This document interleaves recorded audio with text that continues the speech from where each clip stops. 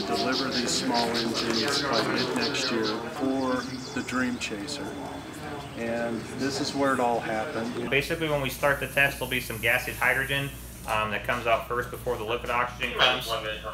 And uh, basically, hydrogen is very easy to ignite, um, and so we light the hydrogen on fire in intentionally um, to basically burn it off as it's coming out of the nozzle before we introduce the oxidizer.